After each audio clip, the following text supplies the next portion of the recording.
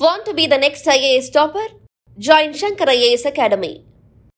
ஆற்காட்டு வீராசாமி அண்ணன் இப்போ அண்ணன் இல்லை இறைவனடி சேர்ந்து விட்டார் அவர் முதல்ல ஒரு சூப்பராக ஒரு ரகசியத்தை உடைச்சு சொன்னார் நாமக்கல்லில் நடந்த பாஜக பொதுக்கூட்டத்தில் பேசிய பாஜக மாநில தலைவர் அண்ணாமலை நீட் தேர்வு விவகாரம் குறித்து பேசுகையில் திமுக முன்னாள் அமைச்சர் ஆற்காடு வீராசாமி இறைவனடி சேர்ந்து விட்டதாக குறிப்பிட்டு பேசியிருந்தார். அண்ணாமலையின் இந்த வீடியோ சமூக வலைதளங்களில் வைரலானது. உயிரோடு இருக்கும் ஆற்காடு வீராசாமி இறந்து விட்டதாக கூறிய அண்ணாமலையின் கருத்துக்கு பலர் கண்டன பதிவுகளை இட்டு வந்தனர். ஆற்காடு வீராசாமியின் மகனும் வடசென்னை தொகுதியின் மக்களவை உறுப்பினருமான கலாநிதி வீராசாமி ட்விட்டரில் கண்டனம் தெரிவித்துள்ளார்.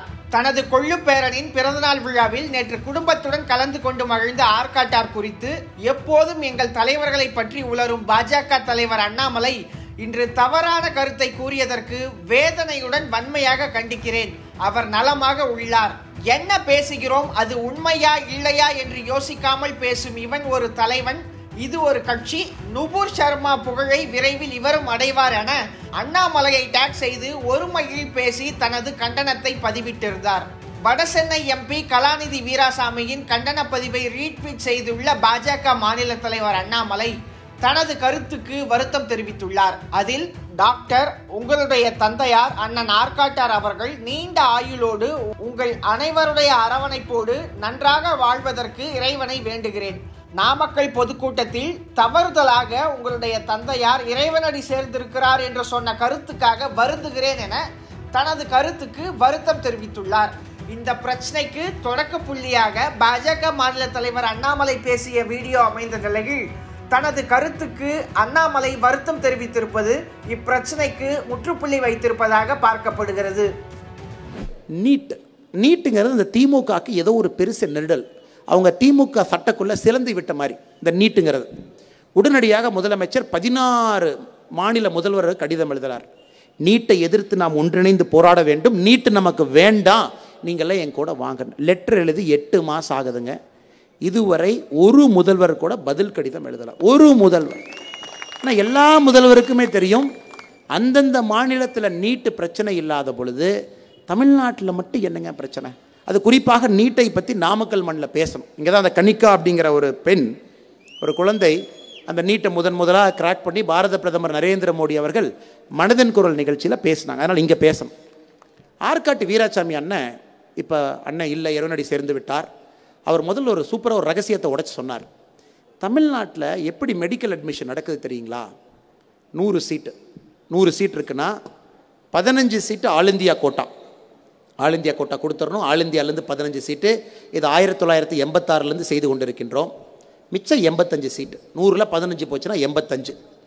எண்பத்தஞ்சில் பாதி சீட்டு நாற்பத்தி ரெண்டரை சீட்டு தான் மாநில அரசு நடத்தக்கூடிய மருத்துவ பரீட்சை மூலமாக மாணவர்கள் செல்ல முடியும். மிச்ச பாதி சீட்டு நாற்பத்தி ரெண்டரை சீட்டு நாற்பத்தி ரெண்டரை சதவீதம் தனியார் கல்லூரிகள் நடத்தக்கூடிய என்ட்ரன்ஸ் மூலமாக அவங்களுக்கு. தமிழ்நாடு மட்டும்தான் ஒரே மாநிலம் இருக்கிற சீட்டை ரெண்டாக பிரித்து பாதி பேர் தான் அரசு மருத்துவமனை பாதி பேர் தான் தனியார் மருத்துவமனைன்னு இவங்களே போட்டாங்க திமுக ஆட்சியில். இப்போ அவங்க என்ன பண்ணுவாங்கன்னா திமுக ஆட்சியில் ரிசல்ட் டிக்ளேர் பண்ணுறதுக்கு முன்னாடி யாரெல்லாம் முதல் நூறு ரேங்க்கு இரநூறு ரேங்க்கு முந்நூறு ரேங்க்கு நானூறு ரேங்க்குன்னு கண்டுபிடிச்சி அதை தனியார் மருத்துவக் கல்லூரிக்கு அந்த டேட்டாவை கொடுத்துருவாங்க. தனியார் மருத்துவக் கல்லூரி என்ன பண்ணுவான்? யாருக்கெல்லாம் அரசு மருத்துவமனையில் சீட்டு கிடைக்குமோ மருத்துவக் கல்லூரியில் சீட்டு கிடைக்குமோ அவர்களை அழைத்து தனியார் மருத்துவக் கல்லூரியில் சீட்டை கொடுத்து வச்சிருவான்.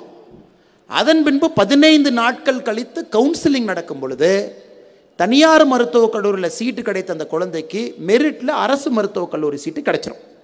அப்போ இந்த குழந்தை ரிசர்வ் பண்ண சீட்டை வேண்டான்னு சொல்லிடும் அந்த சீட்டை கவுன்சிலிங் முடித்ததுக்கப்புறம் மேனேஜ்மெண்ட் கோட்டாவில் தனியார் மருத்துவக் கல்லூரி விற்றுக்கொள்ளும். இதுதான் சீக்ரெட் இது ஏன் செய்கிறாங்கன்னா தமிழ்நாட்டில் இருக்கக்கூடிய தனியார் மருத்துவக் கல்லூரியில் பாதி தனியார் மருத்துவக் கல்லூரி நேரடியாக திமுகவினுடைய எம்பிக்களோ எம்எல்ஏக்களோ மாவட்ட செயலாளர்களோ அவர்களுடைய பெயரில் மனைவியினுடைய பெயரில் இருக்கு. நேரடியாக நம்ம பினாமிலாம் சொல்லவே இல்லை பாதிக்கு பாதி.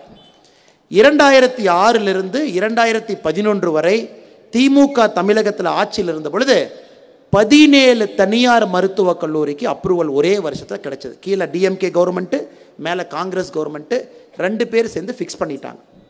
இப்போ இரண்டாயிரத்தி பதினாறில் நீட்டு வந்த பின்பு நூறு சீட் இருக்குன்னா பதினஞ்சு சீட்டு அதே மாதிரி ஆல் இந்தியா கோட்டா இப்போ எண்பத்தஞ்சு பேரும் நீட்டு மூலமாகத்தான் செல்ல முடியும். இதுதான் இங்கே இதுதான் கேமேங்க இதில் எந்த குழப்பமும் இல்லை. இது மட்டும்தான் இதில் குழப்பம். இப்போ எண்பத்தஞ்சு பேர் ஒரே பரீட்சைங்கும் போது திமுக காரனுக்கு பிரச்சனை. நீட்டு ரேங்க்கு இவங்க கையில் இல்லை. நீட்டு ரேங்க்கை லீக் பண்ண முடியாது. அது ஆல் இந்தியா நீட் டெஸ்டிங் சிஸ்டமில் அந்த ரேங்க் இருக்குது அந்த நீட் ரேங்க் ரிலீஸ் ஆன்றன்றைக்கு தான் தமிழ்நாட்டினுடைய மருத்துவக் கல்லூரி அமைச்சருக்கே தெரியும் ஓ இதான் ரேங்கா தமிழ்நாட்டில் கணிக்கா தான் ஃபஸ்ட் ரேங்கா செகண்ட் ரேங்கான்னு ஸோ இங்கே மாற்றியாச்சு சிஸ்டத்தை ரேங்க் வந்ததுக்கு அப்புறம் தான் தனியார் கல்லூரிக்கே தெரியும் யார் நம்மகிட்ட வருவாங்க யார் நம்மகிட்ட வரமாட்டாங்க. இந்த ஒரே ஒரு அடிப்படை மாற்றம் திமுகவுடைய அஸ்திவாரத்தை உலுக்கி விட்டது. உலுக்கி எடுத்தாச்சு. இவங்க திரும்ப திரும்ப ஏன் நான் மெடிக்கல் என்ட்ரன்ஸ் நடத்தணும்னு கேட்குறாங்கன்னா சிஸ்டத்தை ஃபிக்ஸ் பண்ணுறக்கு ஸோ தனியார் மருத்துவக் கல்லூரி இதன் மூலமாக ஒரு ஒரு சீட்டையும் கூட ஒரு கோடி ரெண்டு கோடி மூணு கோடி நாமக்கல் மாவட்டத்தில் நான் உங்களை கேட்குறேன் எத்தனை பேர் காட்டை விற்று அவங்க குழந்தைங்களை படிக்க வச்சுருக்காங்க? காட்டை விற்று ஐந்தாண்டு பத்தாண்டுகளுக்கு முன்பு. பையன் ஒரு ப்ரைவேட் தனியார் மருத்துவக் கல்லூரியில் சீட் கிடச்சிருச்சுங்க. வருஷத்துக்கு ஒரு கோடி கட்டுறாங்கிறாங்க. அஞ்சு வருஷம் அஞ்சு கோடி தானேங்க. ஒரு சொத்து இருக்குது விற்றுட்டேன் பையன் படித்து சம்பாரிச்சுக்கிட்டோம் இதை நீங்களும் நானும் காதார கேட்டிருக்கின்றோம் காதார். இப்போ எங்கேயாச்சும் வந்து யாராச்சும் ஒரு மனிதன் ஒரு குடும்பத்தில் இருக்கக்கூடிய மனிதன் என் குழந்தைக்கு சீட்டு கிடைச்சிருச்சு ஒரு காட்டை விற்கலான்னு இருக்குன்னு யாராச்சும் பார்க்குறீங்களா எங்கேயும் கிடையாது. இப்போது நம்ம அடுத்த இரண்டாவது கட்டத்துக்கு சென்று விட்டோம். இப்போ அடுத்த ரெண்டாவது குண்டு திமுகவுக்கு விழுந்துருச்சு அவன் என்ன பண்ணுறன்னு தெரியாமல் பேசாமல் இருக்கான். தனியார் மருத்துவக் கல்லூரியிலே தமிழ்நாட்டில் இந்தியா முழுவதுமே இருக்கக்கூடிய மொத்த சீட்டு இப்போ அவங்க அரசனுடைய ஃபீஸ் கிடையாது. இப்போ நாமக்கல் அரசு மருத்துவமனையை நம்ம கட்டி முடிச்சதுக்கப்புறம் அரசு மருத்துவக் கல்லூரியில் நூற்றம்பது பேர்த்துக்கு சீட் கிடைக்க போகுது. அவங்களுடைய ஃபீஸ் பார்த்தீங்கன்னா பதிமூணாயிரம் ரூபா வருஷத்துக்கு பதிமூணாயிரரூபா நூற்றம்பது பேர் டாக்டர் ஆயிடுவாங்க தனியார் மருத்துவக் கல்லூரியில் இப்போவும் ரெண்டு விதமான சீட்டை வச்சுருக்கான். Government counselling seat government counselling management சீட்டுன்னு government counselling management சீட்னா இப்போவும் எட்டு லட்சம் பத்து லட்சம் பன்னெண்டு லட்சம். கவர்மெண்ட் சீட்னா இப்போவும் நாலு லட்சம். நீங்கள் கவர்மெண்ட் சீட்டில் நீட்டில் கவுன்சிலிங்கில் தனியார் மருத்துவக் கடையில் உங்களுக்கு சீட்டு கிடச்சிதுன்னா நாலு லட்சம் அஞ்சு லட்சம் ஆறு லட்சம் கல்லூரியை பொறுத்தவரை. இப்போ மோடிஜி என்ன சொல்லிட்டாருன்னா இந்த வருஷத்திலிருந்து தனியார் மருத்துவக் கல்லூரியில் எத்தனை சீட் உங்கள்கிட்ட இருக்கோ அதில் பாதி சீட்டு அரசு மருத்துவக் கல்லூரியினுடைய ஃபீஸை தான் நீ சார்ஜ் பண்ணணும். முடிஞ்சு போச்சு. கதை அங்கேயே முடிச்சாச்சு. அப்படின்னா தனியார் மருத்துவக் கல்லூரியில் நூறு சீட் இருக்குன்னா ஐம்பது சீட்டினுடைய விலை ஐம்பது சீட்டினுடைய ஃபீஸ் பதிமூணாயிரம் ரூபா அந்த நூறு சீட்டு கொண்டு வந்துடலாங்க நமக்கு என்ன ஆட்சி இருக்குது அடுத்து ரெண்டாயிரத்தி இருபத்தி நாலு நாம தான் வரப்போகிறோம் எப்போ ஒரு மருத்துவர் பதிமூணாயிரம் ரூபாய்க்கு போய் படித்தா மட்டும்தான் அந்த மருத்துவம் வெளியே வந்து அஞ்சு ரூபா டாக்டராக மாறுவான். ஒரு கோடி இரண்டு கோடி அஞ்சு கோடிக்கு மருத்துவம் படிக்கிறவன் தான் படித்த மருத்துவத்தை வைத்து வியாபாரம் செய்வான். காய்ச்சல்னா பத்தாயிரம்.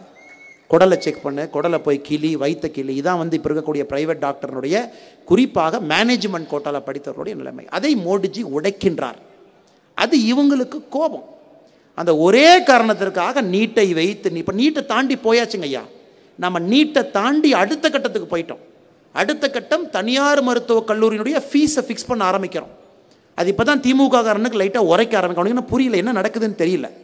அவனுக்கு என்ன புரியல அடுத்த வருஷம் புரியும். அந்த மெடிக்கல் அட்மிஷன் முடிஞ்சதுக்கப்புறம் என்னடா நாலு லட்ச ரூபாய்க்கு வித்துட்டு இருந்த சீட்டு பதிமூணாயிரம் ரூபா அப்போ மூணு லட்சத்து எண்பத்தி ஏழாயிரம் ரூபா எங்கடா காணாமல் போச்சுன்னு. அது அடுத்த வருஷம் உங்களுக்கு உரைக்கும். இதையும் கூட நாமக்கல்லில் குறிப்பாக ஏனென்றால் நீட்டில் தமிழ்நாட்டில் மிக அதிக அளவில் எண்ணிக்கையில் நம்முடைய நண்பர்கள் இங்கிருந்து வர்றாங்க. இந்தியாவில் அதிக அளவில் இங்கிருந்து வர்றாங்க. ஆனால் நாமக்கல் மண்ணில் அதை சொல்லணும் ஆற்காட்டு வீராசாமி அண்ணன் சொன்னது ஃபிக்ஸ் பண்ணது எப்படி மேனேஜ்மெண்ட் கோட்டா சீட்டாக மாற்றினது எப்படி பாதிக்கு பாதி சீட்டை அவங்க மாற்றி விட்டது நீட்டு வந்த பின்பு அனைத்தையும் உடைத்து விட்டு ஏழை பங்காளனாக ஏழை மனிதர்கள் நம்முடைய சகோதர சகோதரிகள் பிற்படுத்தப்பட்ட சமுதாயத்திலிருந்து நேரடியாக அரசு மருத்துவக் கல்லூரிக்கு செல்வதற்கு நீட் இப்பொழுது உதவி செய்து கொண்டிருக்கிறது Want to be the next IAS topper?